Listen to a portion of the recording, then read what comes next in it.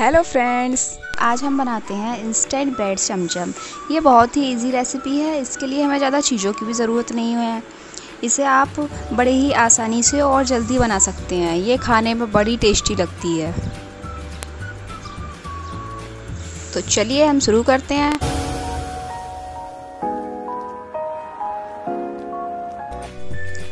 इसे बनाने के लिए चाहिए हमें ब्रेड स्लाइस मावा शुगर सिरप इलायची पाउडर, ड्राई फ्रूट्स, मैंने पिस्ता और काजू लिया है, पिसी हुई चीनी थोड़ी सी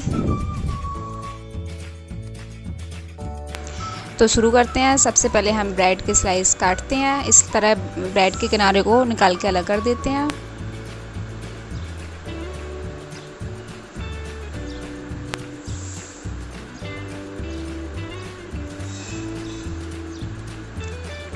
सारे ब्रेड के किनारों को इसी तरह निकाल के अलग कर लेंगे।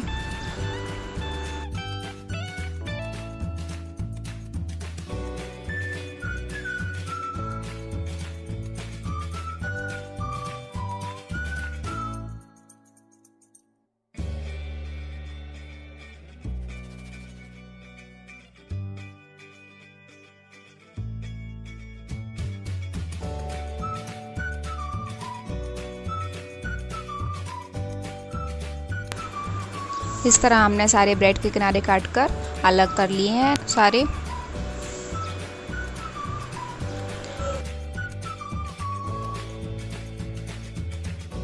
अब हमने ये मावा लिया है, उसमें हम शुगर डालेंगे, एक चम्मच ये मैंने पिसी हुई चीनी डाली है। ड्राई फ्रूट्स में मैंने काजू लिए हैं, आप अपनी मर्ज़ी से कुछ और भी ले सकते हैं। इन्हें अच्छे से मिक्स कर लेंगे।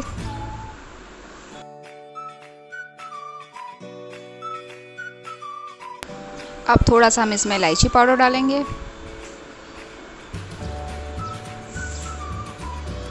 इलायची पाउडर से बहुत अच्छी खुशबू आ जाती है।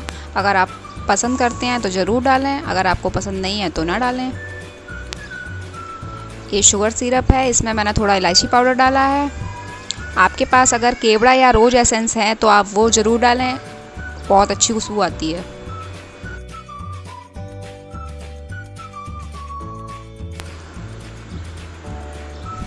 अब ब्रेड स्लाइस के ऊपर हम ये मावा लगाएँगे और इसे इस तरह से कुछ दबा लेंगे।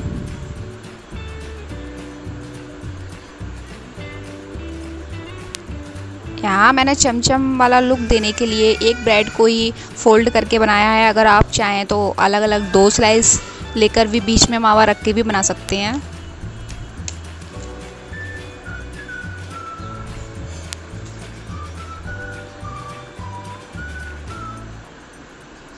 इस तरह थोड़ा सा इसे दबा लेंगे और सारे स्लाइस इसी तरह तैयार कर लेंगे हम।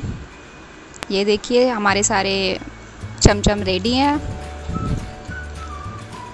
अब हम इन्हें डालेंगे शुगर सिरप में। इस तरह शुगर सिरप में बस थोड़ा सा डाल के निकाल लेना है। ज़्यादा देर तक नहीं रुकना है क्योंकि ये टूटने लगेगा ब्रेड है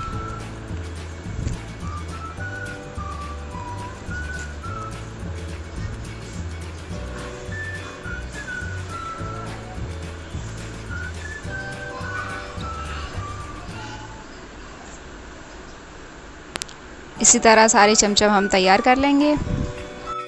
इस तरह हमारे सारे ब्रेड चमचम तैयार हैं। अब हम इन्हें थोड़ा गार्निश करेंगे काजू और पिस्ता से, जिससे हमारे ब्रेड चमचम बहुत सुंदर लगेंगे। अब थोड़ी देर के लिए हम इन्हें सेट करने के लिए रखेंगे फ्रीज़ में। पंद्रह मिनट फ्रीज़ में रखने के बाद हम इन्हें निकालेंगे। और इस तरह से सर्व करेंगे। सर्व करने से पहले इसमें दो चम्मच या आप अपनी मर्ज़ी से शुगर सिरप डाल लें खाएँ और सभी को खिलाएँ। ये सबको बहुत पसंद आएँगे। एक बार ज़रूर ट्राई करें। अपनी टेस्टी और इजी चमचम के लिए एक लाइक तो बनता है ना? तो प्लीज़ लाइक करें वीडियो को शेयर करें और चैनल को सब्सक्राइब करें। Thank you